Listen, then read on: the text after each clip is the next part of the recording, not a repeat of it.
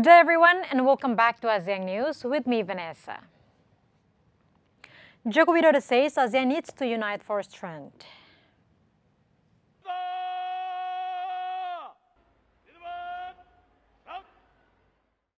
Summit Chair Indonesian President Joko Widodo said in a summit opening remarks he was convinced that the ASEAN can be a central player in bringing regional peace if there is unity among its members. Saya yakin kita semuanya I'm convinced that we all believe ASEAN can do it only if there is one key, which is unity. With unity, ASEAN will be able to be central player in bringing peace and growth. We have a strong asset as the epicentrum of growth, above average rapid economic growth in the world, demographic advantage, and security of stability. kestabilan kawasan yang terjaga.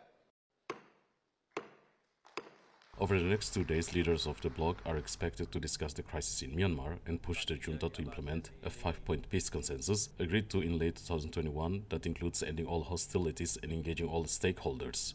ASEAN has barred Myanmar's generals from attending high-level meeting until progress is made. As chair of ASEAN this year, Indonesia has also been quietly engaging Myanmar's military, shadow government, and armed ethnic groups to kickstart peace talks.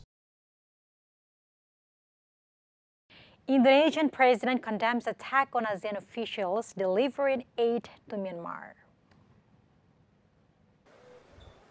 Indonesia's President Joko Widodo condemned an attack in Myanmar on ASEAN officials delivering humanitarian aid and called for an end to violence in the strife-torn country.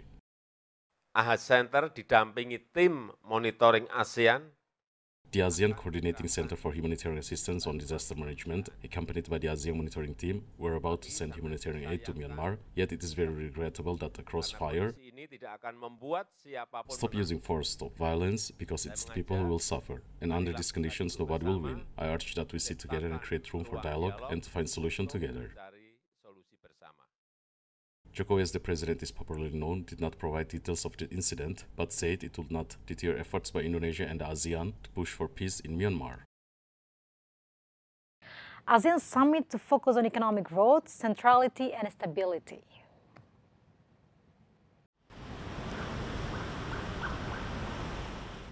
Indonesia is gearing up to host the upcoming 42nd ASEAN Summit with the aim of promoting the region's economic growth, centrality, and stability by fostering collaboration. According to the Indonesian Foreign Ministry, eight meetings in plenary and retreat formats are scheduled to be held, seven of which will be chaired by Indonesian President Joko Widodo. Leaders will meet and discuss global challenges and progress under the theme of ASEAN Matters, Epicentrum of Growth. Under the theme, leaders will focus on the three main pillars. The purpose is to maintain ASEAN stability, peace, and growth. And of course, uh, on the epicentrum of growth, let's focus on the key priority areas, particularly talk about health priority, food security, uh, energy security, and financial stability. These are the key priorities under this particular uh, topic. This year is a very important uh, year for ASEAN. Uh, first, the world is uh, still recovering from the effect of the pandemic, and in some parts of the world, it is still becoming a hard challenge to recover. And Southeast Asian region has been the global engine of growth for some time, and it is predicted that this region uh, will be one among the bright spots in the global economy.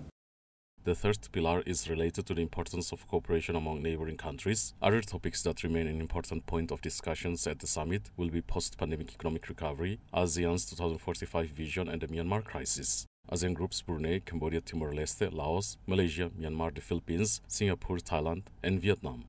The ASEAN summit and related meetings this year are scheduled held from May 9 to 11 in Indonesia's Labuan Bajo, a tourist resort in East Nusa Tenggara province. Indonesian and Vietnam leaders meet ahead of ASEAN summit.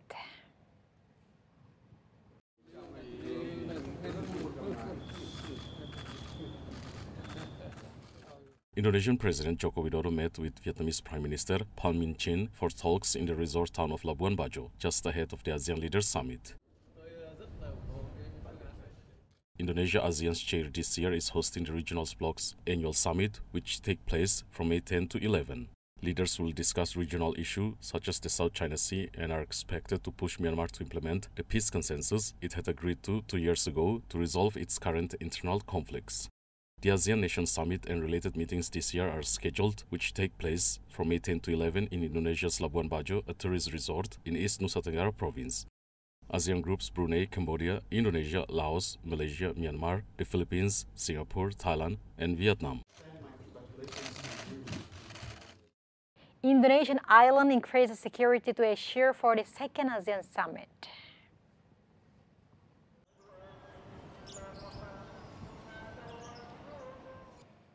Indonesia beefed up security on the small tourist island of Labuan Bajo to secure 42nd ASEAN Nation Summit. The aim of the promoting of region's economic growth, centrality, and stability by fostering collaboration.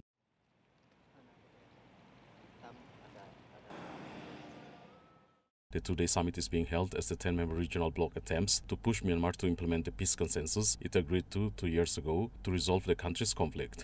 President Widodo had condemned an attack in Myanmar on ASEAN officials delivering humanitarian aid and called for an end to violence in the strife-torn country. Indonesian island hosts summit on hopes of tourism boom amid development impact.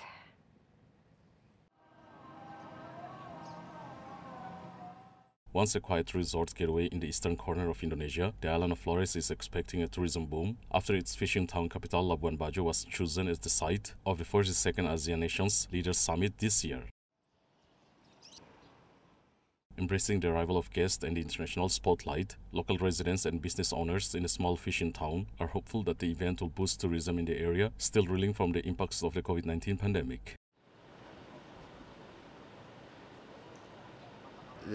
Masyarakat ini bergembira.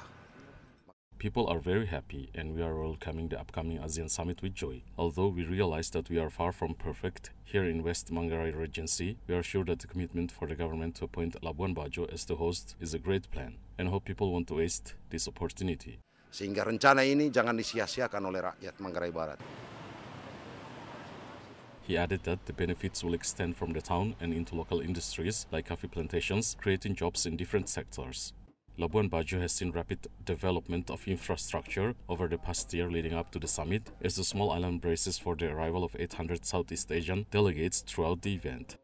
ASEAN leaders are scheduled to arrive on the island on May 9, 2023, with Indonesian President Joko Widodo set to open the meeting on May 10. International Maritime Defense exhibition closes in Singapore.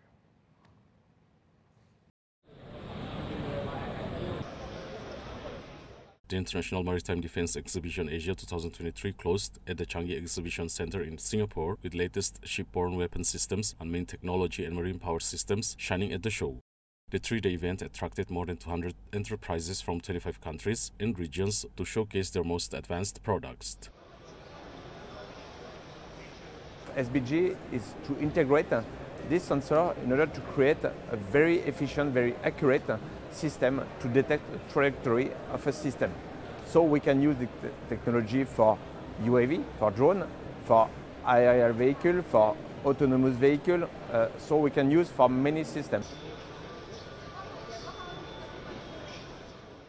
Denmark, Italy, and the United States set up national pavilions to present their innovative products and special materials. We design and produce special electrical cables. This means uh, we supply, yes, of course, defense, but not only. Uh, we supply also um, um, um, scientific inspection and uh, civil application, telecommunication, height and low, uh, uh, height and low uh, temperature, different, very different wide range of application. 22 warships from 13 countries were also open to the public during the exhibition. A biennial event, the IMDEX Asia 2023 marks the Expo's 13th edition, returning this year after a four-year hiatus. China and Germany promise to further strengthen ties.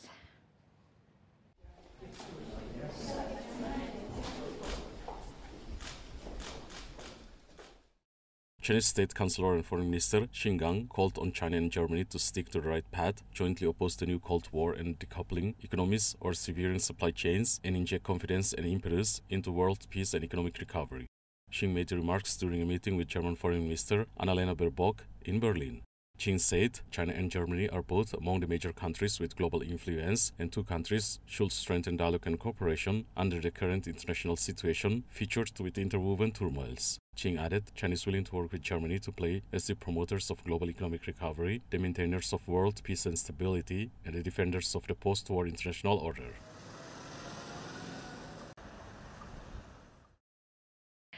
Thank you, folks. We will see you again sooner. Enjoy your weekend. Stay safe and stay healthy.